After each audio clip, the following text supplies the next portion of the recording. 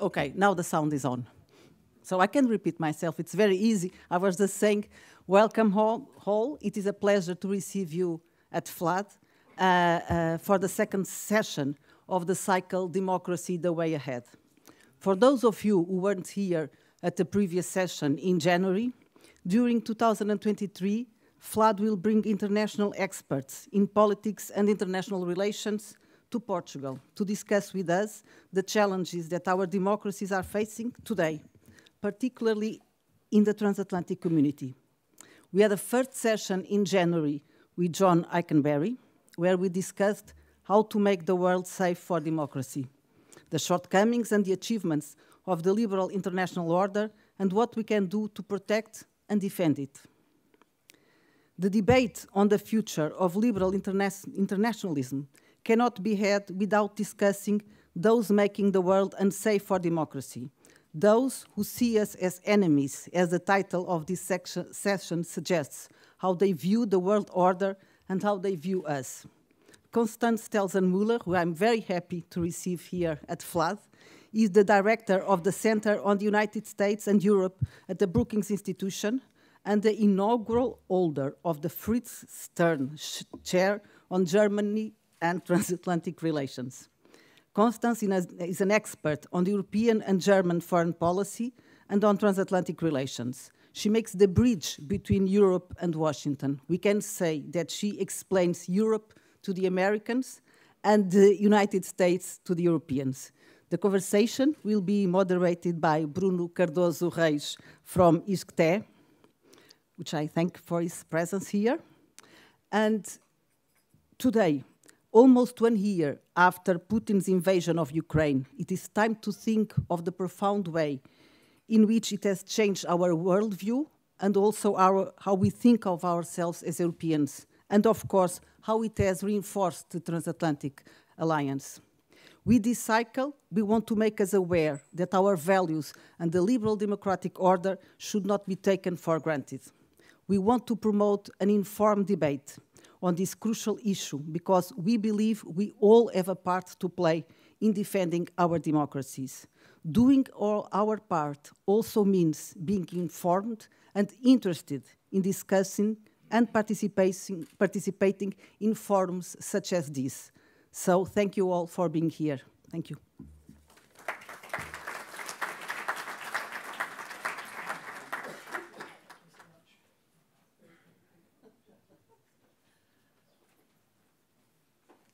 All right. Good evening, everybody. Um, this is working. Yeah, you can hear me in the back. Good. Um, I tend to talk very quickly. It's a, an occupational hazard.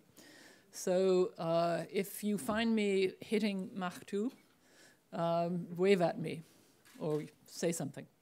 Um, and I will try and slow down again. It's just the way, unfortunately, I work. Um, Rita, thank you very much for this really kind introduction. I have been here since, um, since when? It's Wednesday today. I've been here since Monday, and I've already had a very exciting two days. Um, really very interesting, full of fascinating meetings um, and conversations. And it's my first time in Lisbon in I don't know how many years, but it's really wonderful um, to, now that this pandemic appears to be giving us a break, um, to be able to travel again and to see old friends. And um, I have realized that one cannot come to Lisbon often enough. So I hope this is only the first time of many. Um, it's also, I have to say, very disturbing to be standing and talking in front of my picture. Um, but I, I, gather that can't be turned off, so I apologize to you. Um, but you're just going to try and look at me rather than at that. I am going to, uh, Bruno and I have agreed that I'm going to talk for about 25 minutes, and uh, then he and I will engage in some conversation, some back and forth, and then we will open up for questions from you and hopefully answers from Bruno and me. Um, and if those answers are unsatisfactory, you can always throw something. Um, but the thing I want to do is to speak a little bit about the title of my, uh, the subject that you can see in the, in the title of my talk, The Free World and Its Enemies, What Putin's War and um, China's Global Ambitions means mean for us. Um, and yes, that does have something to do with democracy. as you will see. Um, but I'm also perfectly happy to answer questions about democracy in the Q&A. I am a constitutional lawyer by training, and once in a very long time, when I was a young person, wrote a doctoral thesis, a German doctoral thesis about direct democracy in America.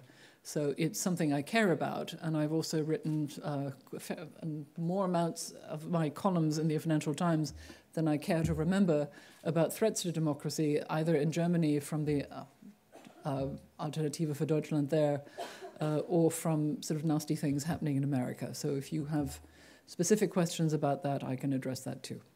But for now, I want to sort of focus on, on what this war means for us, if, if you'll let me, and then we'll take it from there.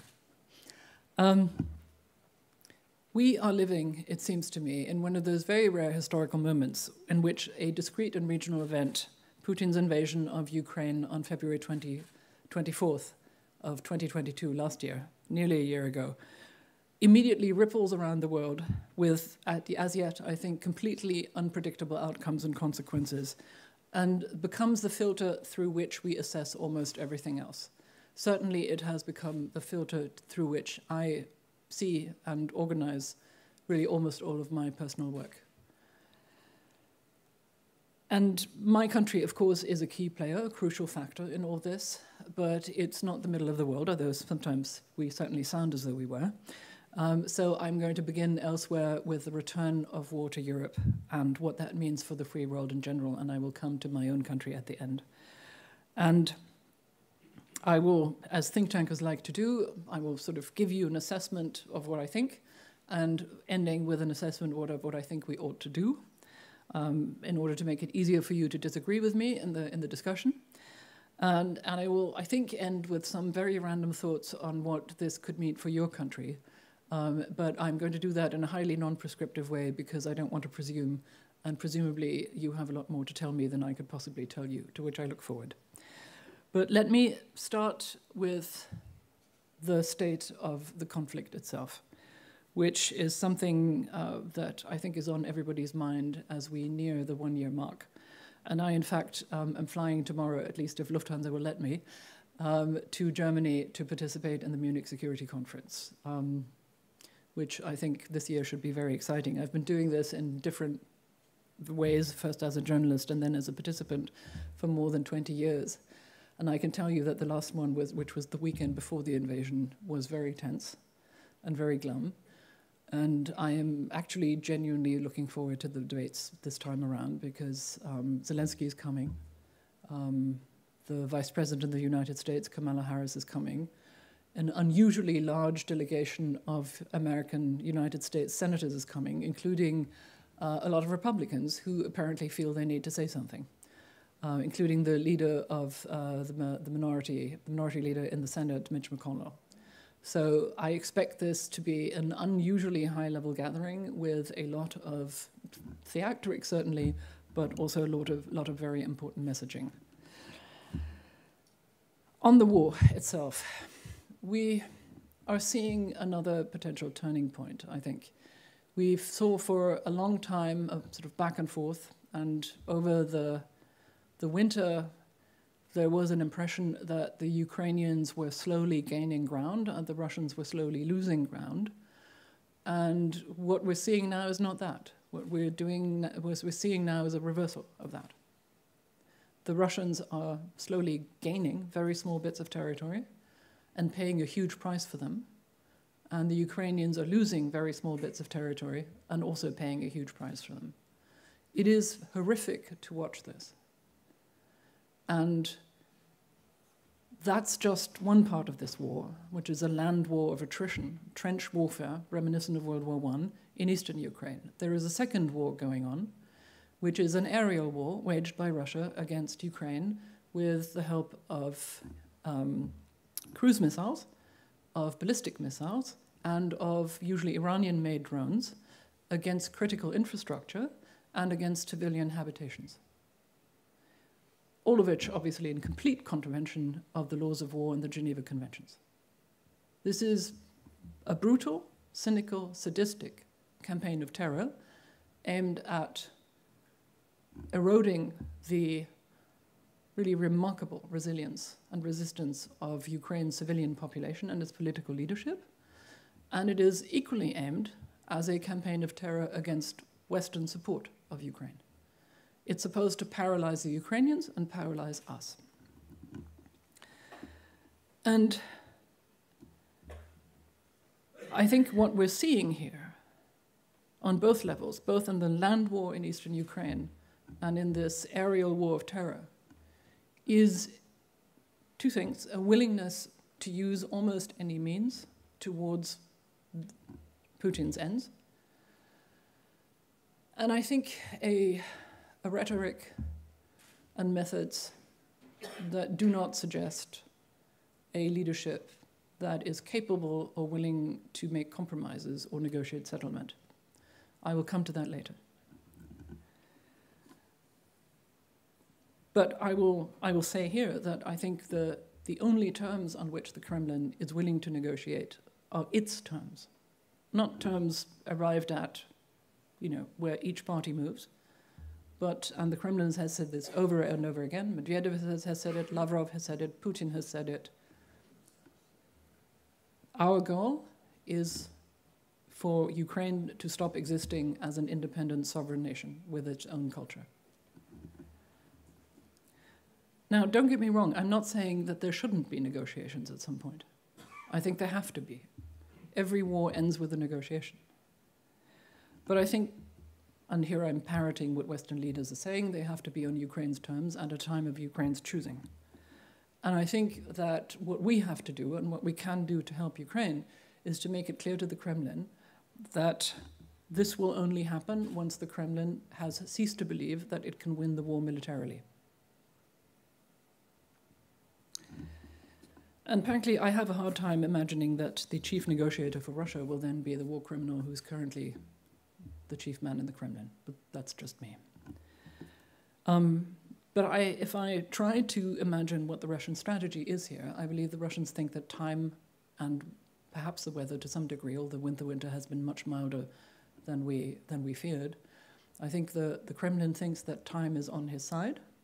The man in the Kremlin thinks that time is on his side and we can deplete, exhaust, and paralyze both Ukraine and its Western supporters. And that leads me to the strategic choices for the West. I think there are two, and neither of them is without risk. I personally believe one to be better than the other, but they are what is currently being discussed in Western capitals. We can, in the name of prudence and in the name of preventing escalation, go on giving Ukraine just enough support to keep Russia at bay and doesn't lose itself. Or, on the other hand, we can give it what it needs to regain um, all of its territory. And by all, I mean mainland Ukraine. I personally would perhaps make, I'm willing to contemplate an accommodation for Crimea for very pragmatic, practical reasons because it is so heavily fortified and because it is so meaningful um, for, for Russia and Russian history. So I can imagine for Crimea a solution perhaps on the level of the Berlin Statute, where we said we consider the occupation of Berlin to be illegal, but we are willing to contemplate a, a sort of yeah, some sort of statute with international oversight. I suppose you might want to discuss, and I will leave this for discussion, whether giving Ukraine the weapons it needs to regain its territory would not force a, a, cornered Putin to escalate and make good on his threats to, to use nuclear weapons. I personally don't believe that. I think that that theory has been tested, and I think it is less likely than it was perhaps a couple of months ago. But it's not impossible. No responsible statement, statesman can exclude that. And I'm grateful that Western statesmen are being responsible and are being very cautious. And I think also that the White House, at the very least, made it, has made it very clear to the Kremlin that there would be extremely harsh, albeit conventional, consequences if Putin decided to use sub-strategic nuclear weapons in Ukraine. Um, the point I want to make here is that a war of attrition in Ukraine that drags on for years, or a stalemate, or a forced negotiation, um, would very probably allow Putin to regroup and attack again. I have absolutely no confidence, zero confidence, in a scenario where Putin accepts uh, a negotiated territorial settlement, and then doesn't try again in a couple of years. I think it would almost guarantee Ukraine becoming a failed state. And I think that would be the victory of might over right, and it would be a terrible blow for the international legal order. And I think for a country like Portugal, a smaller country in Europe, which, like all smaller countries everywhere in the world, has a special stake and a vested interest in an international order that does not allow the victory of might over right, I think that would be a very serious thing. And not just because, as I've now learned for the first time, you have a very large Ukrainian community that is very well integrated. Um, and, and that well before you, you received, generously received Ukrainian refugees. So, my proposition is that Ukrainians should be given what they need to defend themselves, and that we should at the same time continue increasing sanctions on Russia.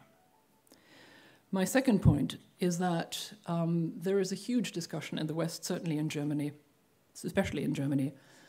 Um, none of us want to be parties to this conflict, right? The fattest red line that Western governments have drawn in conversations with the Kremlin is that we, NATO, will not intervene. We are not parties to this conflict. We will not send NATO troops.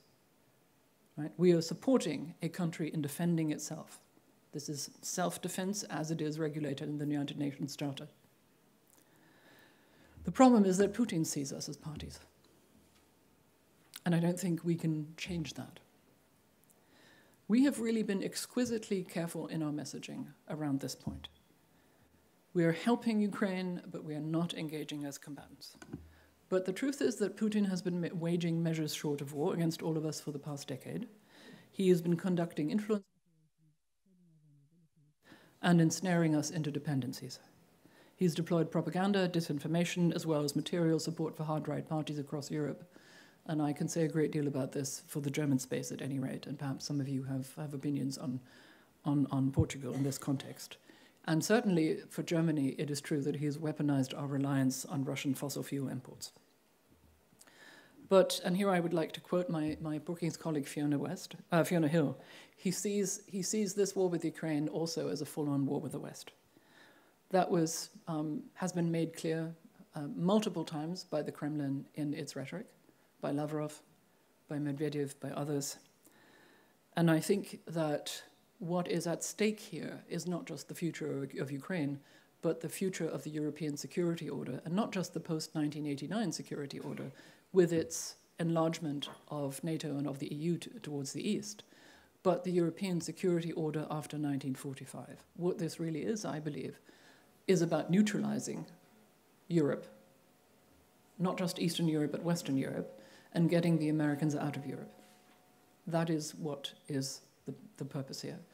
And I think that ultimately Putin sees all of Europe as a Russian potential sphere of influence. And what that means is that we, at the same time as we help Ukraine, have to very urgently see to our own deterrence and defense and resilience. And some of you have been, I'm sure, following the news stories about how NATO and, in fact, even the Americans have been depleting their stockpiles of not just heavy weapons but ammunition, which for a very long time have been produced only on demand by Western defense industries, including the American defense industries. And that, in fact, as we continue to give material to Ukraine, we are depriving ourselves of the, of the real time, in this moment, ability to provide credible deterrence and effective defense for NATO territory. Th- that is something I never thought I would, was, was going to have to say. But that is where we are. And I think that that is something that is probably the most urgent item on defense ministers' agendas right now, because it entails governments telling the defense industry and probably giving them guarantees that they have to increase production now and will probably have to increase production for the foreseeable future. That's a, you know, that's a, a huge undertaking that, you know, in a zero, zero sum, sum world of national budgets can have political, you know, consequent risks, right? You can easily see how that kind of situation might be depicted as a zero sum game uh, by, by political opponents of these developments, certainly by the hard right. The third point I want to make is that we are nowhere near the end of this conflict. I think that's already become very clear. We're not seeing a, a, a proximate resolution of this by military means, or in fact, if what I've said is correct, by political means. And we're seeing Putin still, and with some success, casting his invasion of Ukraine as a war of the West on the global South, a term I dislike and hate to use, but I'm going to use it as a shortcut. Um, as a war on the rest of the world, as it were, the non Western world, where we are, because we are helping Ukraine, we are uh, preventing them from access to uh, grains and, and minerals um, and other and fertilizers produced by Ukraine, which is an astonishingly rever cynical reversal of the facts. We're also seeing, in a slightly less studied development, a lot of very odd attacks, uh, or shall we say, events related to critical infrastructure in Europe. Right? We're seeing cable lines suddenly going out of business. Never mind, of course, um, a certain pipeline. Um, in a couple months ago in Germany, all of uh, northern Germany's train traffic was stopped because um, fiber optic cables uh, that provided the communication, communication for the train service uh, were, were cut with a great deal of technical expertise as to exactly where to cut and how. Um, we've, seen, we've seen underwater cables um, cut near the Shetland Islands, and it's still not clear there whether that was an accident or not. But um, at least the, the, the, fact that there are conflicting reports suggests that something is going on. Um, and apparently, Lufthansa had to cancel a lot of flights today again because of cyber issues.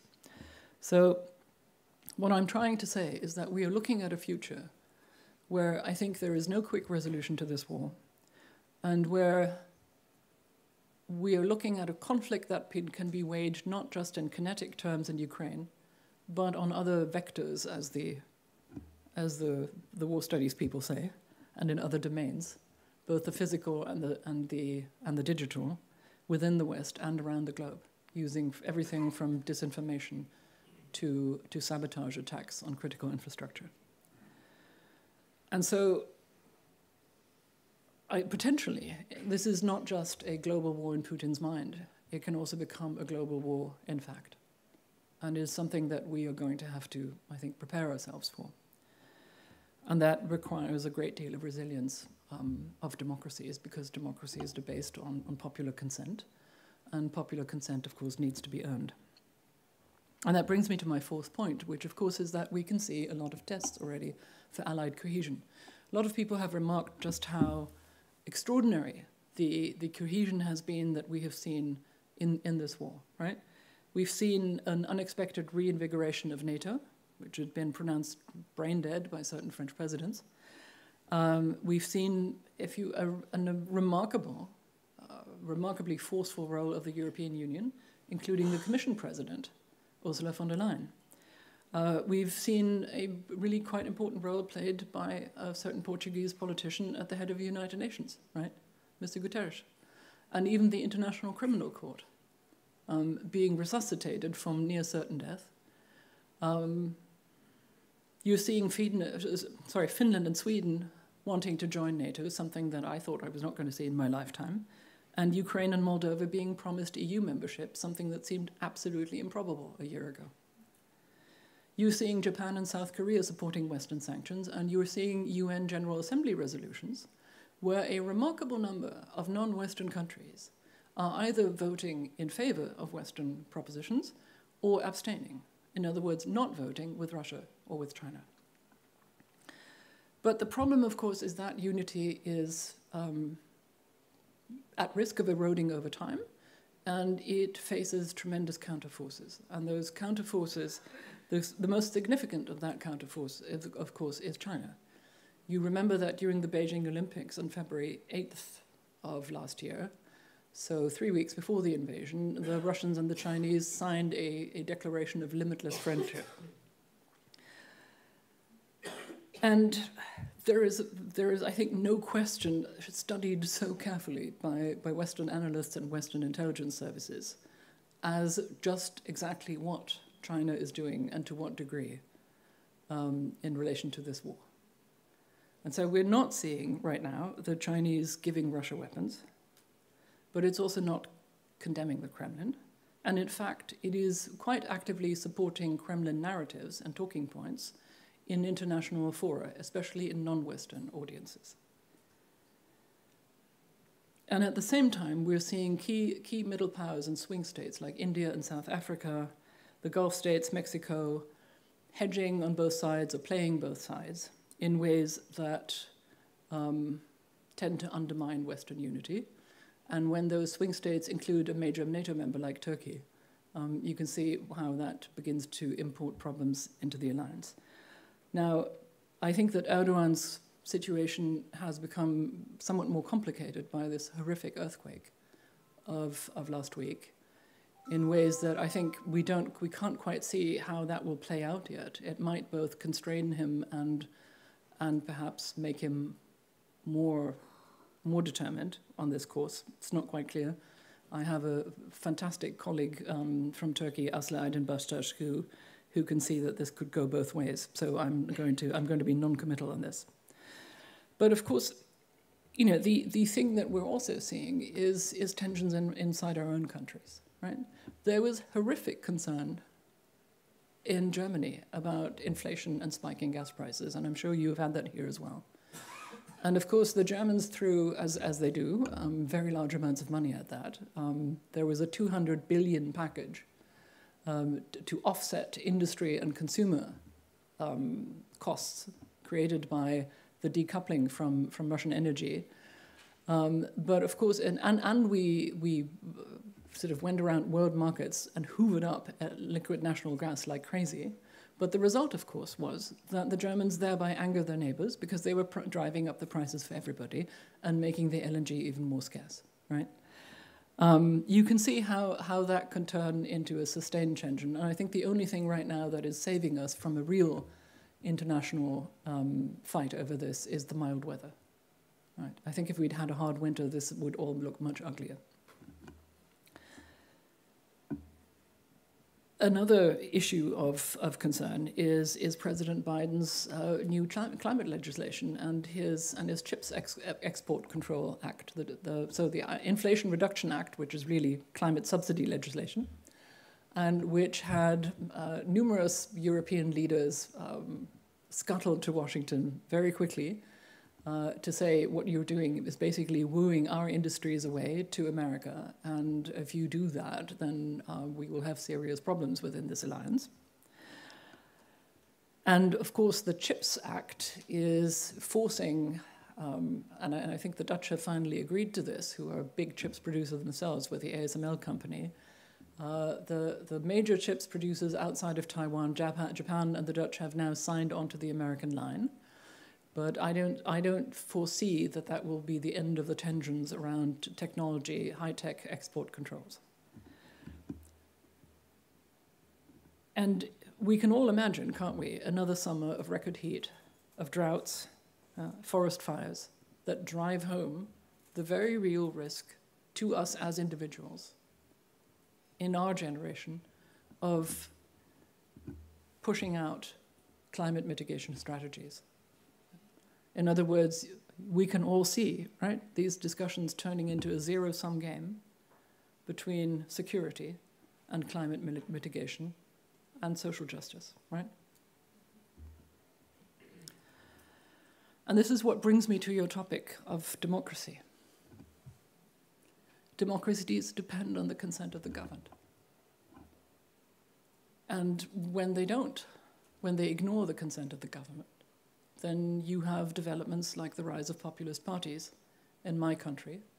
You have the nationwide strikes in France, and you have the rise of the MAGA right in America.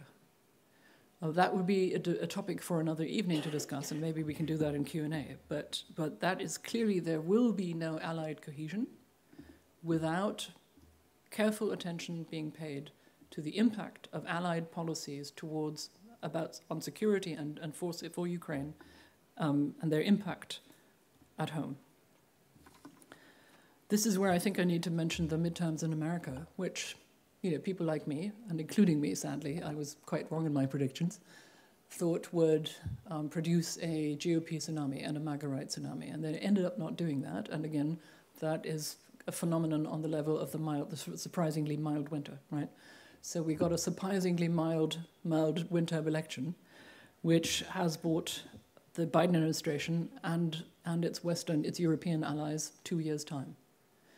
We don't quite know yet how the GOP majority in the House and the very hard MAGA group there that's trying to make this speaker's life hell will play out in, in concrete politics.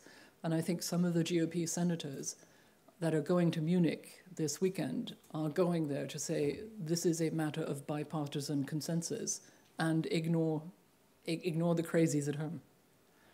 Um, I think the question remains open what the crazies at home tend to do about intend to do about that. So I think it's an open question, but the but my the point I want to make here is that we ignore the democratic aspects of this conflict at our peril. These things are welded together, and no no politician will survive this period if he does not manage to convince his electorate or her electorate of what he's doing or she is doing. My fifth point, and I'm nearing my, the end of my time, so I'll try to scramble a little bit. My fifth point is, is that while we have been given a respite uh, by an active alliance, very active energy substitution policies, remarkably so, a mild winter, and an, uh, an American midterm election that has gone better than feared, the European security order is still more at risk than at any time since 1945. And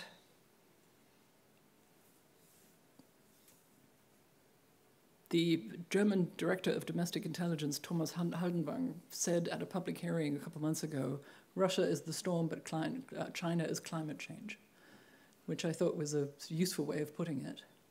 Because one is an immediate and urgent challenge, and the other one is a pacing challenge.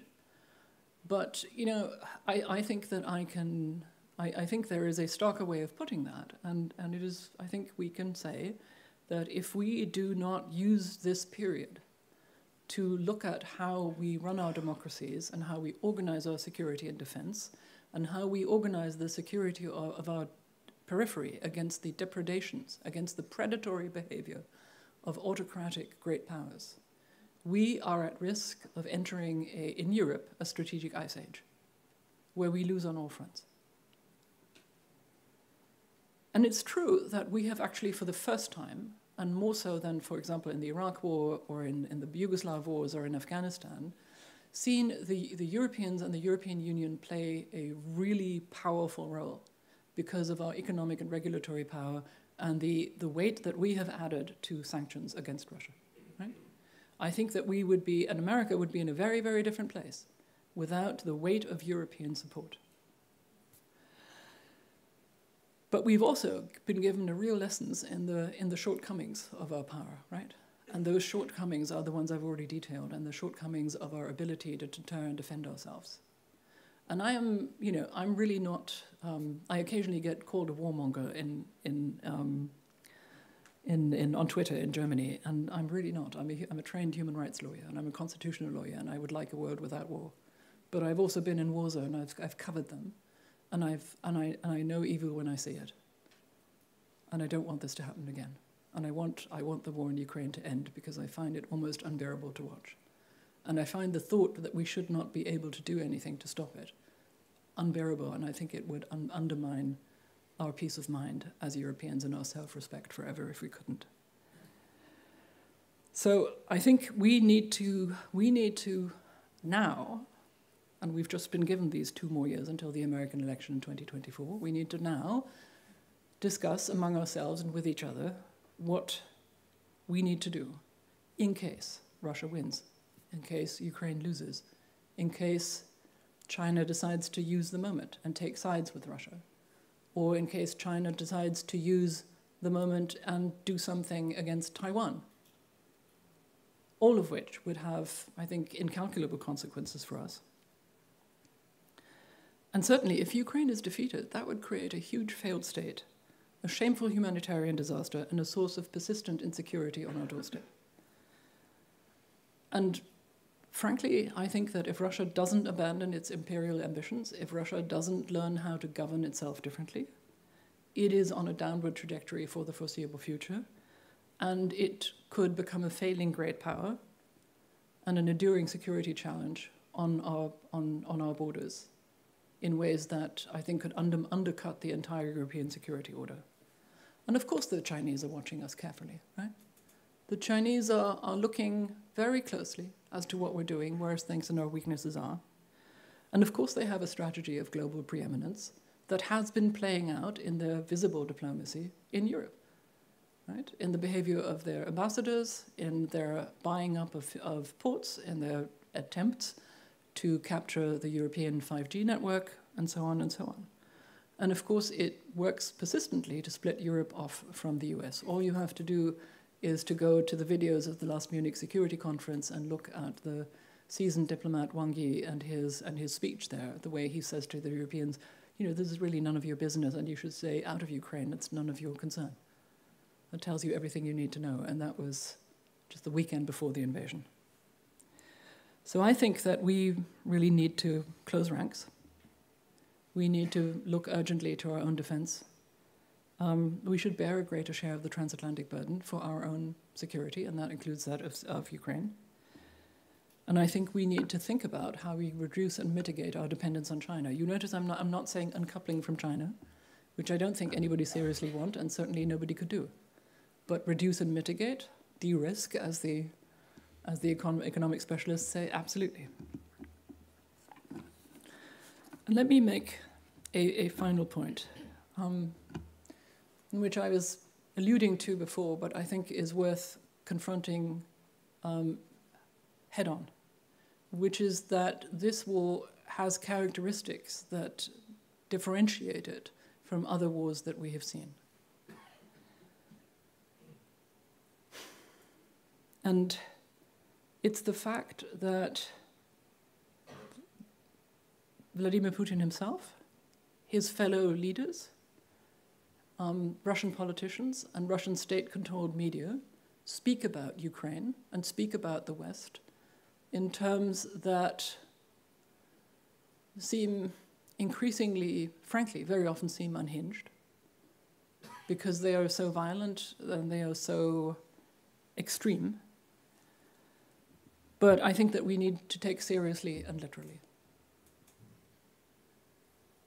And I've, as I said, I've covered wars in Central Africa and in the Balkans, and it unfortunately reminds me of the language of the génocidaires in, in Rwanda.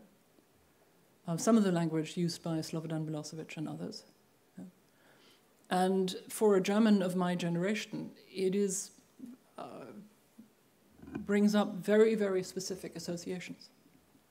There is a famous Jewish German converted, but that was uh, of no interest to the Nazis, who considered him a Jew anyway, Victor Klemperer, who lived in Dresden as a professor of Romance languages and managed to survive the war because his wife was a Gentile, and he managed to sort of elude the grasp of the Gestapo, although they tried to capture him several times.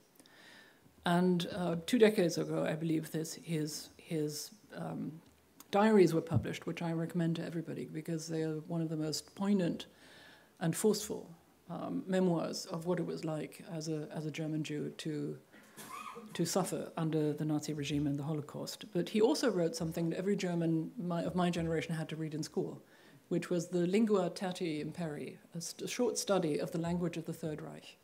And it was a sort of German answer uh, to Orwell's study of the language of, of, of uh, dictatorship in 1984, and I recommend it to anybody. And it is, in the modern term, I suppose, for this is othering. Um, the somewhat older term for what the Russians are doing is, um, is something that you can find in, in Carl Schmitt. Carl Schmitt has developed in his writing, he was the crown jurist of the Third Reich. in his writing, he developed the concept of the relative and the absolute enemy. The relative enemy is one that, with whom you can negotiate. The absolute enemy is one who is so different from you that his differentness is an existential threat to you, and therefore it must be eliminated. And I have to say that the rhetoric of the Russian leadership about Ukraine reminds me of nothing so much as this concept of the enemy absolute in Carl Schmitt. And so I think that we as democracies may have to contemplate the awful possibility of having adversaries who are not just competitors, who are not just rivals, but adversaries who consider us as something else. Now, I'm not suggesting we should adopt the same attitude. Of course not. I think that would destroy us culturally and as democracies. Uh, you should never do that. Um, there's this famous saying by, from Friedrich Nietzsche if you stare into the abyss, it stares back at you. It's dangerous to contemplate these things, psychologically and intellectually and morally. But I think what we may be failing to see, at least what I think some of them at the German debate about this may be failing to see, and I would be very curious to hear from you what the Portuguese debate is here. But some of the German debate, I think, is refusing to see the absolutist nature of the enmity in Russian discourse towards Ukraine and towards the West. And I think if you look more closely at this language, you will also find that a lot of it can be found in the language of the ethno nationalist hard right. right? There is a lot of overlap there. And I think what ultimately this is about is a fear, the fear of the hard right of liberal modernity, the fear of complexity, the fear of difference, right? And it is, I suppose, psychologically, in many ways, a reaction to a fear of failure, a fear of systems overload, a fear of not being able to cope with the complexities and the interdependencies of modern life. And we've had that kind of experience, violence that comes out of an explosion, explosion of, of fear many times in human history. And of course, the Germans have been a part of that in the 20th century in the biggest possible way. And so I just want to say, as we think about how, to what degree we're willing to pressure the Ukrainians into negotiating, I think we also have to think about what it is that we think the Russians are doing here, right? And what they want from Ukraine or what they want to do to Ukraine. All right, I'm going to. I'm far over my time, and I'm going to not talk about Germany. Um, I'm just going to say uh, I think. I think, frankly, my government is trying really hard, but it's not trying hard enough. And I think it can need all the help it can, it can get from friendly allies and neighbors, even when they're a little farther away, like Portugal. And I think, very simply, that we're not going to come out of this truly historic crisis if we do not find a way of working together as European nations, of overcoming our differences, and of finding a common purpose in preserving a European security order in, in which everyone can live at peace. That's a tall order, but I think the alternative is one that none of us can wish. So I'm going to stop here and talk to Bruno. Do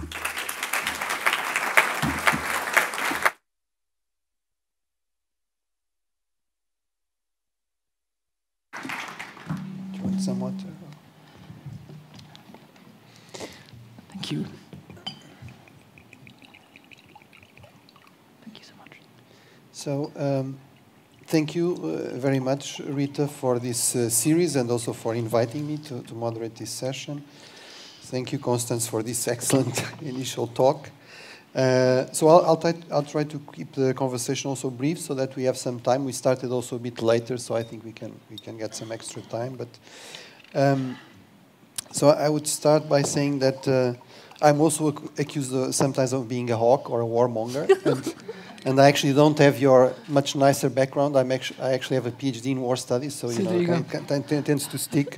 But, uh, but I, I, I, fully agree that uh, the best we can aspire to is some kind of armed peace, uh, both in terms of Ukraine and, and Europe. And I think that uh, nothing is more guaranteed to prolong the war encourage uh, further uh, Russian aggression than even to signal a weakening of support uh, to, yeah. towards Ukraine. Um, and I also think that uh, your final point is a very powerful one. I think that it's it's really undeniable that we see uh, officially sponsored propaganda in, in, state TV and even statements from from senior officials, from the most senior officials, which is really gen genocidal uh, from from Russia. Um, so probably this is one of those very good examples of uh, which often happen in international politics, where you are asked what is the the kind of the guaranteed successful good option, and you really have to say there isn't none. Uh, maybe we, yeah. we can we can choose, pick your poison is basically the, the yeah. option. Um, but uh, in terms of, of uh, moving forward to the questions and, and your your comments, uh, and linking also with the wider topic here. Um, so the the series is called uh, Democracy the Way Ahead, but as, as you know, for instance, Freedom House has published these mm. terrible reports. I think the last one was Democracy and the Siege, the, or the, the one before was The Regression of Democracy. Uh, they estimate like, like 20% only of, of global population nowadays live in, lives in democracies. Um, so in a very pragmatic way, is, is it really smart to frame this uh, struggle, this support for Ukraine in terms of a fight for democracy? Is this the best way to win friends for mm. Ukraine, or we need some, uh, maybe that, but also some other arguments if we think, no, for instance, yeah, of the global I, I think South? that's a really good question, and, and it's something on which I have a view. I'm sure that doesn't surprise you. Um, So uh, I'm sure many of you who study American politics are aware that the Biden administration came in sort of waving the flag of, you know, democracies versus autocracies, which I have to say, again, I have tremendous sympathy for, but I think is unhelpful with a capital U, as British diplomats would say, uh, in the current context, because of the um, let me put this in sort of strategy geek terms. We're, we're in a period where we're having where we have a juxtaposition of two wars, a very archaic, brutal, kinetic war that looks like all the classic sort of European wars, people killing each other in huge quantities in the most brutal possible way, and then you have the West trying to, while it's supporting Ukraine militarily, in a very much more sophisticated way, trying to counter weaponize economic interdependence against Russia, right? Russia was trying to weaponize our dependence on its fossil fuels, and we are trying to counter dependence the fact that it is very much integrated with the global economy with the help of sanctions and export controls. Which any of you who have ever worked in this field know that sanctions require sort of extremely detailed legal preparations and if you will recall that after the first set of sanctions did not appear to produce a result, apart from derisive you know, sneering from the Kremlin, um, the West, I think within the first week of the Russian invasion, invasion, froze the Russian central bank's assets over the weekend. That was the equivalent of uh, you know, a financial nuclear bomb in many ways, at least in, the, in psychological terms. It, for a variety of reasons, the Russian economy has proved to be quite resilient, not least because it continues to receive, receive fossil fuels income from elsewhere, right? Um, and because it, it, it, you know, it has managed to save as well. But the that has been a sort of remarkably precisely calibrated uh, Western response. And it requires the, you know, it required a degree of political collaboration that wasn't obviously going to happen after the twin disasters of AUKUS and, and the Afghanistan withdrawal, right? The fact that that was, and it probably started to happen, you know, in August, uh, sorry, in, in October, November of 2021. So, three, four months before the actual invasion, the Americans were clearly already talking to the Europeans and to the Swiss um, and saying, if X happens, we must be able to do Y, in which case we would need to do the following things now, which is really quite something. Um, am I answering your question? Well, and, uh, but I'll, I'll follow up with, with another one. So, in terms of the global south. I think actually. Oh yes, I'm sorry. Point You said that. Yes, I'm sorry. Now no, I understand what you, where you were getting at. I'm sorry, I lost track. It's been a very long day, as Rita knows. Um, so, in this kind of context of sort of counter weaponization of economic interdependence, middle powers suddenly gain enormous power. Right? Military power is less important, and middle powers, who, as it were, you know, have options, can hedge, suddenly have much more power than, than they have ever had, right? So the Mexicans and the South Africans and the Indians are having a field day, you know, looking at all of us, sort of looking first at the Chinese, then at us, then the, at the Americans, then back at the Chinese, and saying, so what do you have to offer? Um, and to some degree, um, one sympathizes with them, right? Because um, you know our behavior hasn't always been very sort of principled, nor has it, nor have we avoided double standards. I'm being ironic here. I hope you realize that. Um, and and I can I can see how somebody sitting in New Delhi or in Mexico City might think, I'm going to exploit this, right? Um, but I think, again, the, and I think one of the, the more significant and weighty questions that, that Western diplomats now have to deal with is how to, shall we say, prevent a bandwagoning of these states with China and or Russia, um, while at the same time not sort of pulling the colonial card, as it were, or sort of bringing an undue amount of, uh, an inappropriate amount of bullying to bear. In other words, how do we convince people that we're the better partner? Right? And, and there, I think um, it has two elements, really. I think a sort of appropriate degree of, of humility about our past behavior, combined with um, the perhaps a, a, carefully crafted conversation about the things that we have been we, we have seen China doing, say in Africa or elsewhere, in other words, building enormous projects, but bringing in its own labors and giving crippling loans to, to um, non-Western governments, right? And, and then saying, you know, um, we realize that you need these projects and you need these loans, but we're also seeing the conditions that you are getting, and we think we can do better, right? But that's a completely different style and tone of diplomacy than, you know what, we're the democracies, we're in the right, fall in line. So I, I, have to say, you know, I think that this might actually be a moment where we can sort of learn, you know, unlearn some bad habits and relearn some good ones.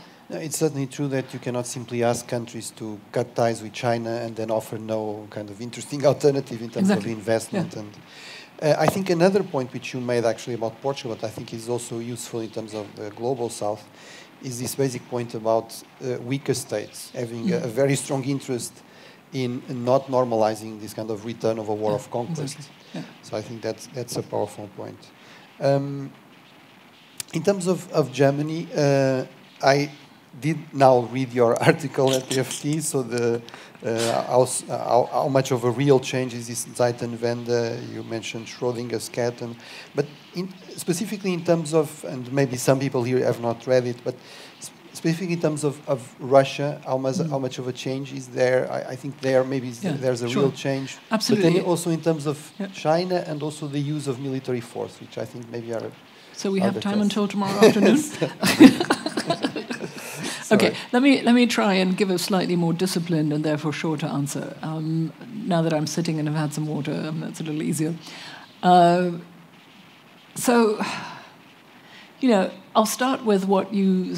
I'll start with Twitter. Um, you know, if I if you make the mistake like me of spending too much time on Twitter, uh, you can get the impression that a lot of people think that Germany is a deeply corrupt country. Um, actually, for that, it's enough to read the comments section under my columns in the FT. Um, it's a deeply corrupt country that either should be much better friends with, with the Russians because they're the only ones who are good for us or we're a deeply corrupt country that has sold its heart and, and, and the rest of Europe to, to Russia. Um, neither of those, of course, are true. Um, the most overrated trope of the conversation about Germany is the, you know what, history weighs so heavily on us, we can't move, we can't change. That's just not true. Uh, I have been covering German defense and security policy since, uh, and this, I'm afraid this dates me, since the early 90s as a rookie, as, a, as an intern, uh, when a Berlin Daily paper sent me to Somalia because we sent a brigade there that then pr- proceeded to sit in the middle of the desert because the Indian brigade that it was supposed to protect never arrived from India. Um, that was our first adventure. Um, post post fall of the wall. And and so I would say that we have actually done a great deal. We have we fought in combat in the Balkans. The, the division that went into Kosovo after the air bombardment of, of, of, of Serbia you know, for 77 days, That division was headed by a German general. And it shot for the first time in anger you know, since 1945. And that was the Balkans. We have lost soldiers in combat in Afghanistan, right? To pretend that we are a vegetarian, herbivorous country you know, is just not true, right? Um, and of course, you know, we are we, we like to say that we're you know the, the, the, the country that profits most from Europe, and that there we you know whatever we do is good for Europe. You know, as you know, our, in our economic policies, we can be quite ruthless, um, and so that's also we're not herbivorous in that context either.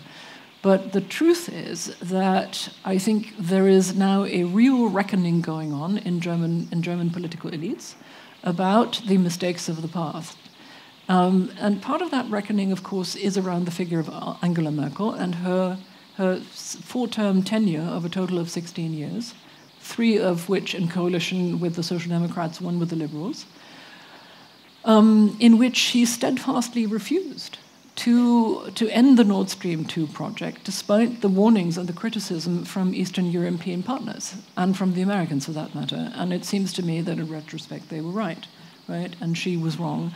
And although she is writing an autobiography, and although she is sort of has been attempting a slow re-entry into into public debate, that part of that that part of the discussion hasn't been going so well for her. And the most interesting conversation is happening in the Social Democrats, who of course had this ideological commitment to Ostpolitik. And, and here I sort of declare my, my colors. My, my father, my, my parents voted SPD in the in the 1970s because the CDU, the Conservative, wanted to have parts of Poland back. And my parents said, that's not decent. Of course we're voting for Willy Brandt, right? Um, but, but Ostpolitik was a, you know, a concept with meaning at the time. But even at the time, it paid significantly less notice and respect to um, what Germany had done in the killing fields, as Timothy Snyder calls it, of Poland, Ukraine, and Belarus than to what we had done to the Soviets, right? And so, what the Social Democrats are discussing now, and I think with great seriousness and great energy, is, is that this is no longer a posture that they can decently adopt. And for those of you who are really interested in this, there is a social democratic paper published about 10 days ago that, um, that puts this on the line, and I think there is an English version on, on the website of the SPD as well. And I think that there is no going back behind that. That's a real cultural change, and it was well overdue, but it's serious and it's, and it's, and it's sincere.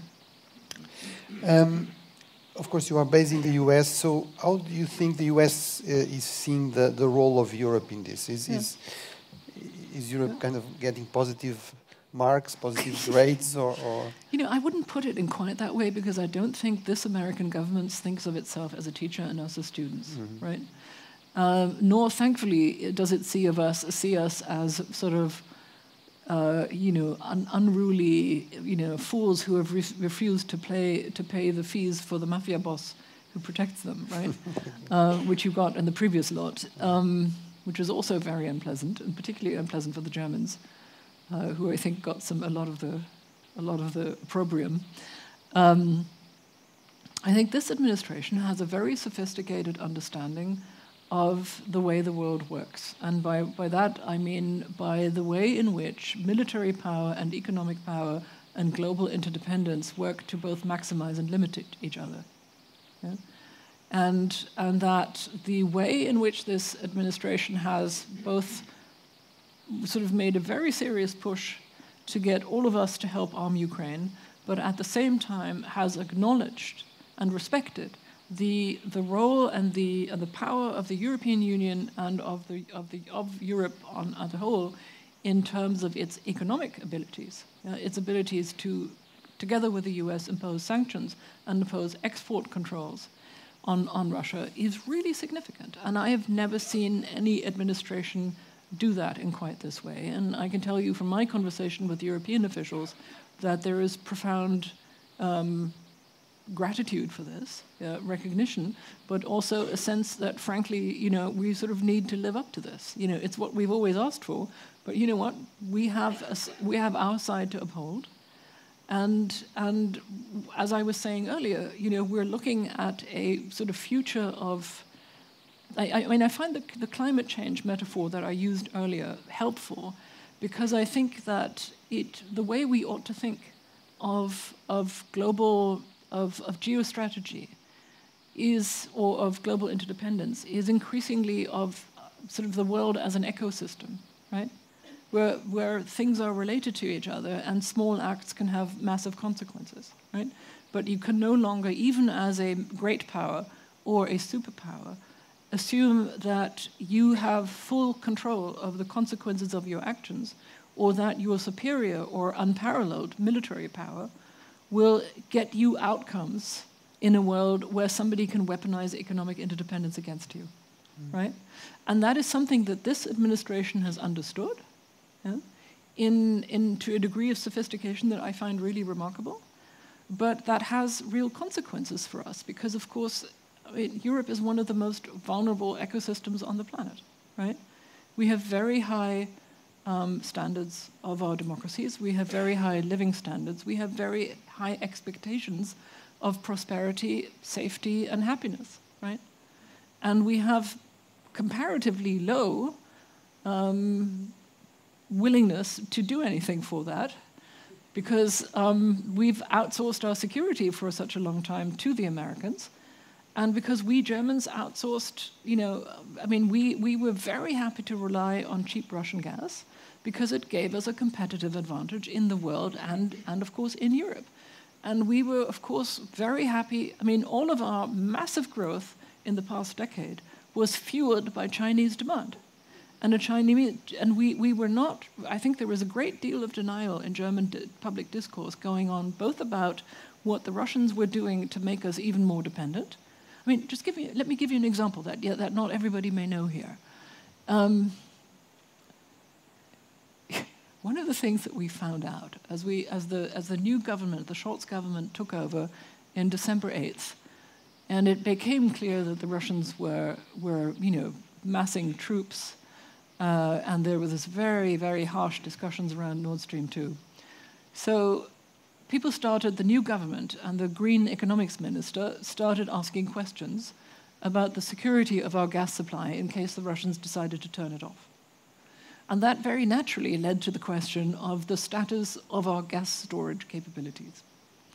Now, the agency in Germany that is responsible for monitoring that is the Bundesnetzagentur, the Federal Network Agency, an agency that had led a peaceful, quiet, and unobserved life in the backwaters of German policy, and that suddenly decided to acquire a Twitter account uh, because it found that people were checking its daily its, its status reports every day, and, and people like me, and people members of the press, and politicians, and it suddenly became apparent um, that the that a Germany has the largest gas storage capabilities in all of Europe what that means, and, and let me tell you, I've since found out that all of these gas, if, if the entirety of that gas storage would um, meet Germany's gas demands for about two and a half months. Right? Now, the thing that was suddenly noticed was that unusually these gas storage facilities had not been filled for the winter, but in fact were quite empty. Then more questions were asked, and it turned out that some of the biggest gas storage facilities had in fact been sold by a previous economic minister to Gazprom. Gazprom yeah. um, now, um, that you know is already a scenario where, where you, as a politician, start going like this, right? And start asking questions. And then, of course, you have to realize that that some of our eastern neighbors, in particular, who were not like us, somewhere between 55 and 70 percent dependent on Russian fuel imports, but 100 percent dependent on fuel imports. If the Russians decided to turn off the gas to them, and by the way, the Federal Network Agency has a lovely map of the gas pipelines everywhere and where they go, uh, so you can see exactly what the Russians would need to do and what would happen if they cut, you know, if they turned off the tap. Um, we would have been asked, as the possessors of the largest gas storage capabilities, to organize reverse flow of gas to our eastern neighbors if those if the gas had been stopped there but not to Germany, right?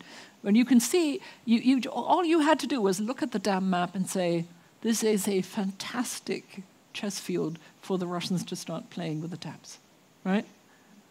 And how is it possible that nobody has paid attention to the security implications of these possibilities, right? And so the economics ministry has been working its ass off, and to put it in the vernacular, um, to change these things. Um, and, and to their not inconsiderable credit, um, we have fully decoupled from Russian fossil fuel imports. The plan was decouple from Russian coal by August of last year, decouple from Russian oil by December, and decouple from, from Russian gas, I believe, by the end of 2024.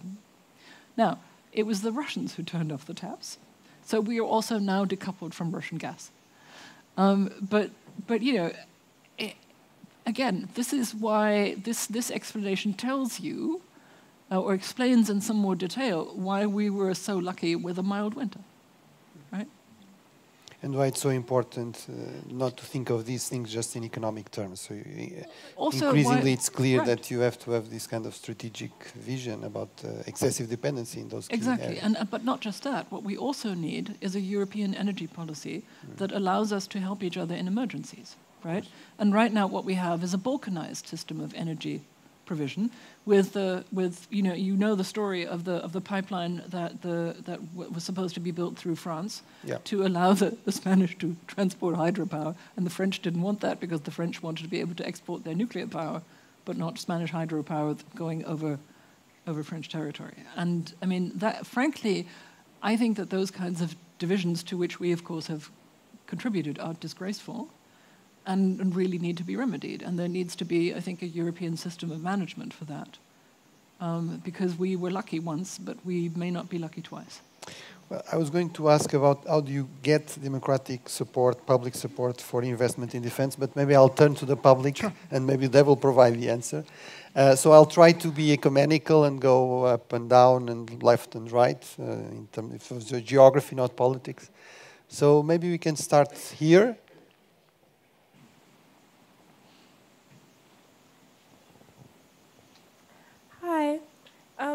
My question pertains to something that you said way earlier in your speech um, about your first point, in which the West should increase their supplying to Ukraine and not be hindered by um, Putin's nuclear threats.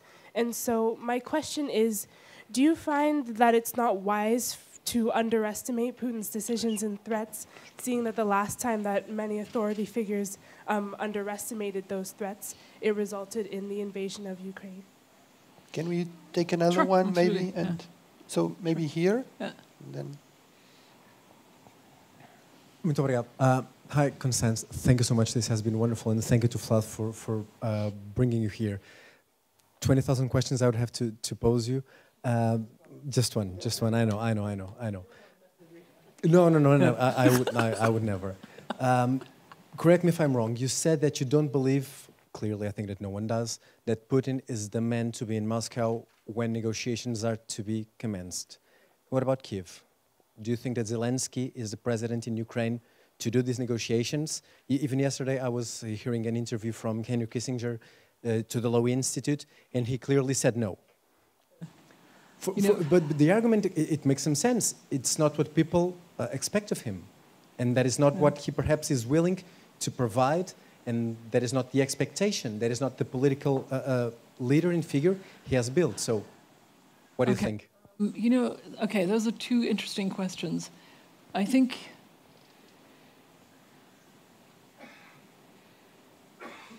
I actually think that we have ways of influencing uh, Putin's choices about whether to escalate and how, right? Um, and I, but I think that it would be very wrong to just say, you know what, take what you want yeah? because that's what your question implies in some ways, right? Is that we should, if he threatens something, let him have it, right? Because he could make good on his threat. I don't think we can live with the consequences of that, right? And arguably, the, you know, I, I think one could say that some of the hundreds of thousands of dead in Ukraine are on us because we didn't clearly say that we would not tolerate an invasion of an innocent, sovereign, independent country, right? So, so to that, the answer is no.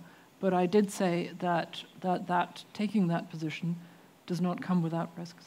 Yeah, but I don't think what I am saying is that this is in the in the very traditional, classical, you know, sense of Greek tragedy, a tragic choice. We have no good choices. We have no choices without risk. So I think we end up taking the choice that leaves us able to look in the mirror in the morning. Yeah.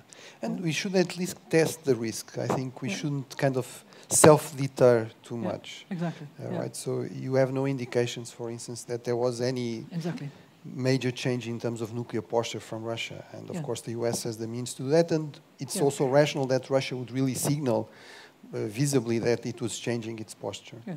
And let me also add something onto that. Um, if we are talking, or, or the, the, the fear was around not Russia sending an intercontinental ballistic missile somewhere, but using what is called a substrategic nuclear weapon in the battlefield of Ukraine or on a Ukrainian metropolitan center.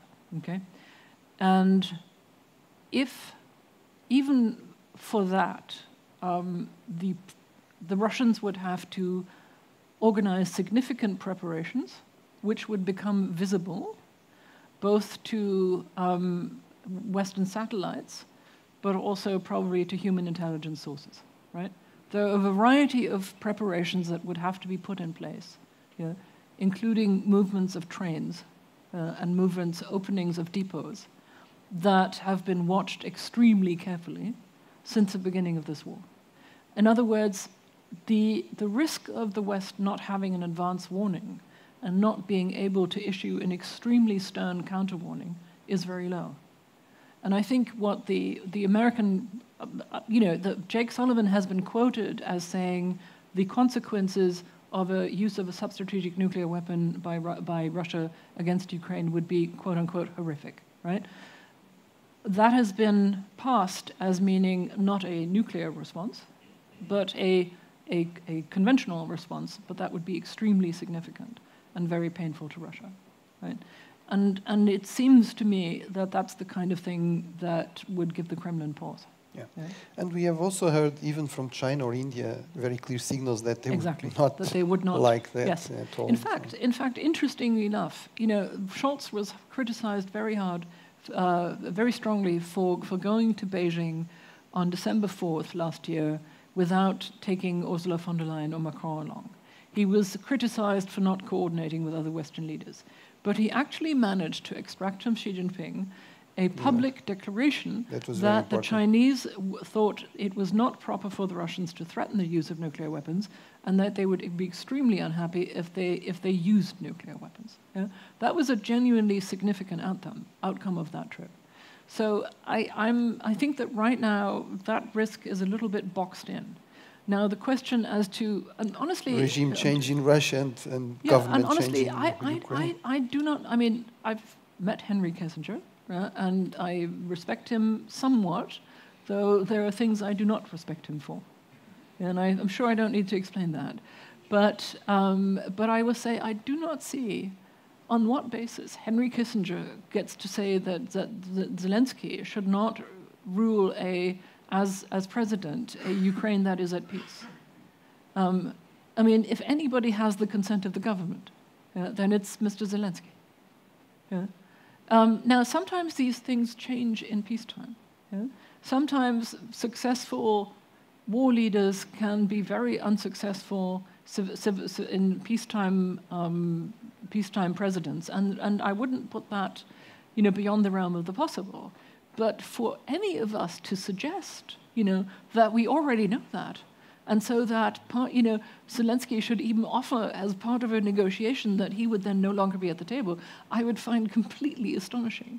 Yeah, and, and something that I think would exhibit a level and a very of dangerous hubris, precedent. of hubris on, on, the, on, the, on the part of Western diploma, diplomacy that I think is completely uncalled for. Yeah? So, and, and, and Putin, yeah, and, and I, I also think it's extremely stupid to suggest that a condition of negotiations ought to be regime change in Russia, which is why you're not hearing anybody doing that, right? That would be reckless in the extreme. You know, that would only make, make Putin hang on even more strongly. But, um, but the truth is, you know, it's really not, it's, it's hard to imagine, you know, anybody ever talking to Putin again, except, you know, you know, at arm's length and only in an emergency situation, right? I mean, these, these guys are burned. Lavrov is burned and he knows it. Medvedev is burned. You know, these people have all, you know, have been, you know, parties to, you know, one of the worst international crime sprees uh, that the world has seen in recent, in recent memory. And Sorry. they've lost uh, trust completely. A very famous Portuguese diplomat, Yeah. uh, Calvet de Magalhães, would like to say, you know, Yeah. they keep saying diplomats Yeah. are uh, patriots who are sent abroad to life for their country, but that's that's that's not true. If you no. maybe, of course, you have to be strategic in what you say or not say, but if you keep lying, you discredit yourself to a degree that you're not credible as, a, as a partner. And Lavrov used to be a very respected diplomat because, you know, people knew that he would lie to them, but he was seen as extremely experienced and knowledgeable, and so people would go talk to him. I think that's no longer the case. So we have to go back to the audience. Yeah. So maybe Right, there and there. uh, Ali, it was Ali. Uh, thank you so much, uh, Dr. Stelzenmüller, for an enlightening talk, and thank you, Rita Faden and FLAD, for inviting this uh, very interesting speaker. Could you, you, you said your choice would be that the West give Ukraine the wherewithal to drive Russia, Russian troops uh, out of Ukraine, except for Mhm. yeah. Could you talk to us a little bit about what the consequences of that strategy might be, particularly Europe? Mm, Um, Sure. Already, you know, we have budgets that are uh, Yeah. in deficit. You are suggesting something, and at the same time, you're saying, but you need to build up your stock of, uh, of ammunition and, and, and tanks that you will have sent there. How do you We, achieve this we need to send much more money. Uh, Are we not threatening our social model? I mean, what are the consequences of Europe if we do what you suggest? Sure, Thank you. absolutely. And then you want a second? the second one. Yeah. Okay, good. Um, the question is about um, democracy. Mhm. Uh, when you look at the Economist Intelligence Unit um, survey they always do, even before the COVID-19 pandemic, democracy was on a, it was going down in comparison to other tota- totalitarian systems, and there was a, I think it was about six percent on real democracy, what they described, and the rest was 45% in total on flawed democracies. Mm. As a German, my concern is uh, when we look at the global picture and we look at the European picture, and we have populism on the rise, and we need unity against Russia, how can we do that? That this doesn't flip and that it breaks the unity, Mm. and that how can we make really democracy attractive so that India and others they see also an economic interest in that. Okay.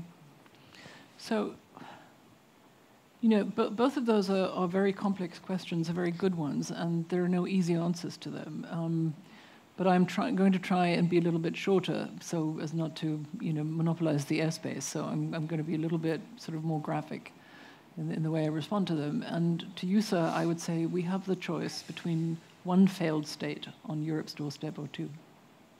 I think that Russia is not going anywhere good, right? Um, and whereas with Ukraine has a choice, or rather, we can give Ukraine a choice uh, by defending it. And I think that to have that to deal with the consequences of, of a Russia that has essentially put itself outside of the confines of civilized nations uh, for probably you know the rest of our lifetimes will already be a very significant challenge to European security, and it is not one that we solve by giving it Ukraine. Right? It is not one that we solve by saying, you know what, you can have it and take Moldova too. And while you're at it, take the Baltics. You know, they're NATO members, but they're really small. Have them. That's, that's not how, that is, because that is what would happen, right? If we say, you know, Ukraine, we've decided it's not worth the fight. And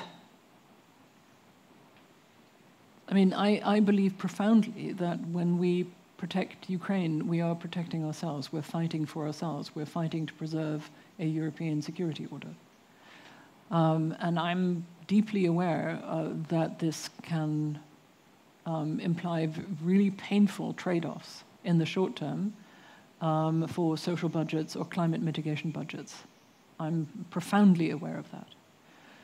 But I think that we are not going to have climate mitigation budgets or social budgets if we allow Russia to do as it pleases and to institute the rule of the, of the strong on the European continent. Because I think that's, that's what we would be facing. And so, you know, th that's a depressing prospect. But then on the other hand, I do, see, I do see rays of light. I do think that the Ukrainians have been extraordinarily resilient, have been extraordinarily inventive, and that um, it's a country with tremendous wealth, yeah, both in rare earths, in, uh, in, in, minerals, in, in steel, and in agriculture, and a population that is clearly quite well educated yeah, and very, very able to defend itself if given, if given the means to do so. Um, and that if we could manage to turn Ukraine around, yeah, that that would be of benefit to all of us um, in terms of security, but also in terms of trading and economic prosperity. Yeah? There is, I mean, you know, this sounds so utilitarian, but I think that a Ukraine that, that managed to reconstruct and that sort of, you know, took on peace with the same kind of energy that it has taken on defending itself, I think would be a model European in many, many ways, right? And that is not to say I'm not aware of the history of, of, sort of corrupt oligarchs and all that, but frankly, I cannot imagine that the oligarchs have had a very good war so far, right? Um, I think that if anything has made the case for the young Ukrainian reformers that I also know, yeah, it's, it's this war. I, I don't think that the, that the oligarchs come out of this, you know, with their hides unscratched, yeah, and, their, and, their, and their fortunes and their networks uh, intact. I doubt that. So, you know, I think there are a lot of really hard choices ahead of us, but I, but I think also that um, the alternatives to making those choices um, would be ultimately very bad. Uh, um, on the question of, of democracy, honestly, I mean, I'm, I mean, maybe this is me continuing in an optimist vein, but I, I think that actually autocracies are more fragile than we like to think, and that our democracies have proven more resilient than we like to think. I was terribly worried about the AFD when it came, you know, the AFD started out as a professor's party that was upset about the euro, right? Um, and then we had the migration crisis, and suddenly they, they seemed to attract every raving ethno-nationalist loony, you know, um, in, in, in, in, Germany, and, and came into the Bundestag at, with 12.6%, um, which made it the leader of the opposition.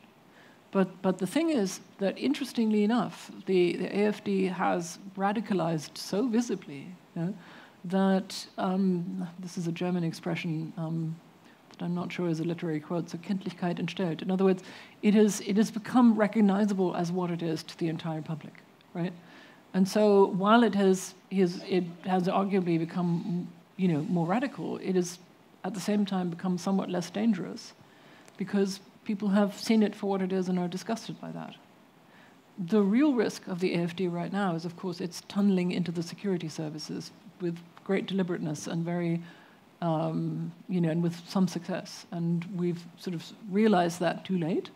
And the domestic intelligence services, police, and the armed forces are now having to sort of pick, you know, pick these extremists out of their services, like, like you know, like ticks. Yeah, that's um, should never have gotten that far, of course. But so I'm, I, but but the the the, the foundation of your question, I think, is how do you, in a state where the of mm, where the, the nation state's control over setting policy and implementing it is constantly challenged by the disruptive forces you know, that, that don't stop at borders. You know? um, how do you how do you credibly create the consent of the governed, right? And I think that you have to do that by reinventing the relationship of the state and society and economy. It, this sounds sort of very wonky, but, but I think you have to make you have to make governance and democracy credible and livable for the individual at the local level, right? And so you have to pay attention to whether local governance works. And if it doesn't, you have to bloody do something about it, right? And I think you know something about that in Portugal, right? You've, you've had a highly centralized form of government and a highly bureaucratic form of government. And, and perhaps, you know, and I, I've, I was, we were just talking with your, um, uh, with your colleague from, from the foundation earlier of the, about the efforts of creating sort of um, pools of, you know, accessible data and information you know, about how governments works for, for, for, for individual citizens to understand what role they can play in local governments. And I think that is genuinely you know, where the challenge of democracy is at. You know, and there's a lot of work being done on that in my country and elsewhere, and a lot of best practices to share. And if anybody is specific, interested in the specifics of that, I can recommend people to talk to. Yeah. Okay. So I'm getting a very strong encouragement in terms of giving the voice, giving voice to younger, to younger. Oh, I see but, but, actually, I don't see anyone. So, uh, so maybe oh, there's lots not of young so young. Ones. So yes. maybe we have there's a young voice there, and yeah. there you go. Thank you for coming. Uh, my name is Domi, and I'm from the Carlucci International American School of Lisbon. Okay. And I just wanted to say uh, we greatly appreciate you for coming, and we hope you come back again sometime soon. That's uh, nice of you. Something really important is that the Russia versus Ukraine war is having impacts on many types of people from all over the world. Yeah. And one thing in common between all these different, sorry, I wasn't speaking into the mic earlier. Uh, one thing in common is youth. Youth is yeah. everywhere. And I was wondering, how do you think we, the youth, can help to maintain international security and to mitigate the impacts of the war? Yeah. Actually, that's a really good question. Do you want me to answer that? Maybe, maybe okay. yes, and okay, then sure. I'll, I'll pick up look, on another. Very, very simply, if you look at voting patterns, right, um, in really important elections, there's been a very disturbing pattern of, of first-time voters not choosing not to vote, right, um, and thereby depriving themselves and the and, and politics of of a you know a finger on the scales, right. So honestly, I mean, I know that this sounds possibly very banal, but bloody hell, go out and vote, right? Um, and, and then there are, of course, ways in which you can have a more immediate impact. Um, and it really starts with community engagement. I mean, I have vivid memories. I, fi I, I finished school in Madrid um, at the German school, and, and it was, uh, Franco was not long under the earth. So the mood at the school, particularly at the German school, where there are a lot of grandchildren of genuine old Nazis, uh, was quite authoritarian. And, and my quite left wing um, German teacher put me up to running for, for class president, or rather for a school council. And we, we, I plucked up, we plucked up all our courage and went to the director of the school and said, We would like to form a school council. And the director said, Over my dead body and showed us the door. so um, hopefully you're not in that situation. But I mean, frankly, it is worthwhile, and I'm being a little bit jokey here because it's late, but, but you know what I mean. You, you don't live in, in an autocracy. You have options, right? You have options to look at your community and to see where you could play a role, yeah, whether it's at your school, whether it's in your neighborhood, whether it's, I don't know, you know, cleaning up a public park. I'm sorry, these are very banal ideas, but there are ways in which um, one can actually practice negotiation uh, and diplomacy and, and, and getting, getting policy results. Um, I'm very serious about that. And because you're an American, I take it, um, no? Sorry? From Finland, okay. Well, I mean, the Americans always tell you to run for office, right? Um, which is maybe perhaps a little bit, if you're still going to school, perhaps a bit early for that. But um, but I find that, I find that so encouraging when they say that, because I think it implies you know, that anybody, if they want to, you know, can sort of say, you know what, I have something to say, and do this. And, and interestingly enough, the, German, the current German legislature has more first-term um, first-term legislators than than ever before historically, and more people who I think you know younger and, and they're younger than ever before. Um, and presumably they looked at the state of politics, politics, and said, you know what, I don't like this, but if I don't like it, I, I need to go in and try and change it. And interestingly enough, some of them appear to be a lot more pragmatic and less ideological than older generations who were there for a very, very, very long time. So all I can say is go for it. So maybe we have time to, for two more questions. I'll, I'll try to look down uh, as much as possible. So maybe there and then maybe there. Uh, so younger voices and so Yes. maybe there and then Sorry, everybody who's older. here. You know, you're in my category. Sorry about that. There. We're has-beens. Yes, and then there, maybe there. So two younger voices, and I'm sorry for all, all who were asking for the floor, and I couldn't give it. Okay. Can I? Yeah, ladies first. Hi. Uh, so my question is a bit different from the previous ones. I think um, it's about the China's rise, Mhm. and I would like to know your opinion about the demographic crisis that China is facing right now, and how do you think this will have an impact in their uh, world domination they are facing Mhm. right now? And yeah, that's it. Thank Thank you. you. Okay. Great. And then the other one. Okay, hello. Yours was a great presentation. I'm going to go straight to my question. Um, there are many interesting questions, but uh, mine is about what do you think is the best case realistic scenario uh, related to Russia's war on Ukraine and its relation to the West?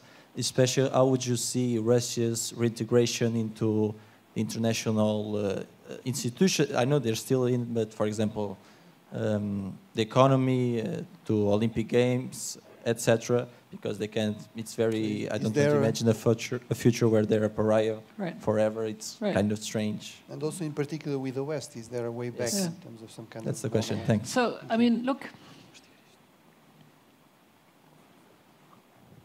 Let me answer the China question first. Um, and, and I'm not a China expert, and I'm sort of profoundly aware of that, so I'm going to be careful. What I will say is that it seems to me that China's demographics are a vulnerability for its power, right?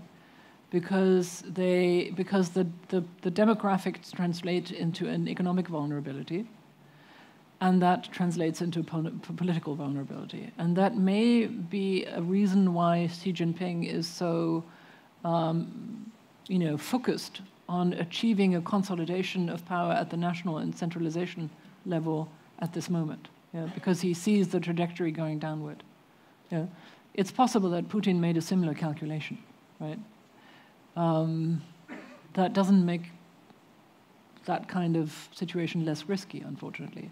And I don't see the, that kind of demographics is actually very hard to change unless you accept, you know, real immigration. And of course, you're now seeing in Europe um, discussions about labor immigration. We found, for example, that the, the Syrian migrant uh, who came to Germany in 2015, almost all of them integrated into the labor into, into a labor market that was desperate for, for new workers, right? And the same thing is true of many of the Ukrainians who've, who've come to Germany, right? So, I mean, and, and the problem is that I, I don't really see the Chinese ac- accepting accepting labor migration in any in any serious way. I think that that would actually be a real sort of political uh, challenge and a, and a challenge for social cohesion. Uh, we've learned how to do that, and nobody knows that better than the Portuguese, who've been, you know, mobile, you know, for decades, and, and which is what makes you so cosmopolitan and so, you know, multi-European, because so many of you have have now additional roots in other European countries or relatives who are there, right? And I think that that's a, a huge asset for a country, you know, because you can learn from each other and from different places, right? But I'm, I think that, that in that sense, the, the Chinese are more brittle. Now, on, on your question of reintegrating Russia, um, you know, I think we're, integ- we're agreed and that that would be good, right? But the problem is, you know, the circumstances. I think we, we are probably agreed that we, that we can't accept Russia just going on, you know, slaughtering its neighbors when it, when it de- decides to do so, right? Um, and we are probably agreed that a Russia that is run by a small group of kleptocrats is not likely to be a Russia that behaves well externally. Right? So I go back to what I said earlier. Until Russia abandons its new imperial ambitions, and, un and probably until it learns how to govern itself differently, I find it hard to imagine a return to pre-war relations with Russia. I mean, I could see us having sort of, you know, the, bare, the barely necessary communications um, on issues that are, you know, sort of of an emergency quality. Yeah? Say if there were some kind of a, uh, an international emergency, yeah? and then you say, okay, I'm going to hold my nose and pick up the phone. But I, I, don't see, I don't see, you know, sort of real negotiations with the Russians on climate, because nobody can forget what they've done to the, to the Ukrainians, right? I mean, I let me give you an example from my own experience. When I was at my, my newspaper, Die Zeit, and, and uh, covering Balkans war crimes tribunals, we had huge controversial debates about the, out, the, the final end state of the Balkans wars, right? And when people like me said, you know, there has to be some justice for the war crimes committed, um, then some of our older colleagues would say, oh, you know, you're a bleeding heart liberal. Uh, what we need is a negotiated peace, and then all that can be forgotten because all the sides committed war crimes, right? And then some of us would said, well, you know, arguably that some of that happened in Germany, yeah, because a lot of, lot of Nazis actually escaped prosecution, and frankly, that poisoned German politics for, for decades. Yeah? And um, you know, how do you know that that won't happen in the, Balkans, right?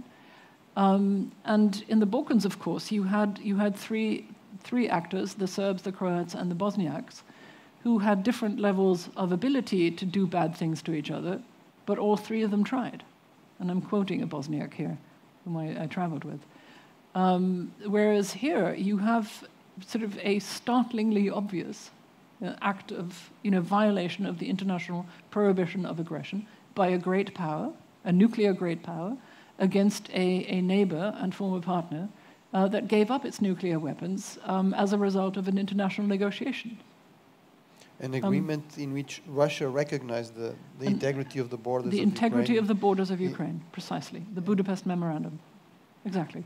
And so, honestly, I, I think in this case, the violation of foundational international norms has been so egregious that I, I, I, I, lack the imagination to see how we could just, you know, pass over that and say, let bygones be bygones, and, you know, come visit us at the Elysee. I, you know, yeah. maybe that's my failure of imagination, but I don't see it. Well, on that uh, cheerful note. exactly.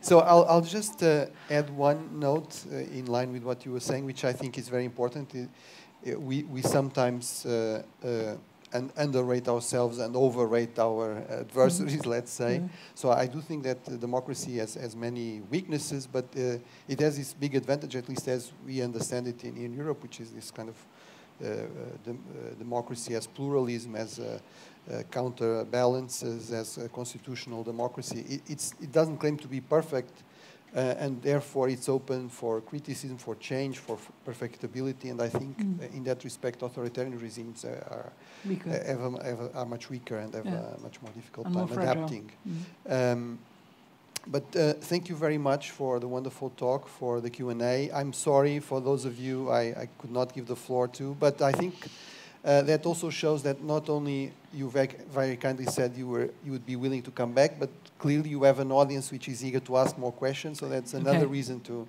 to come let's, back. Let's so thank you very much. Let's hope we're not talking about something much more horrible next year. So yes. yes. I'm sorry. Thank you. thank you so much.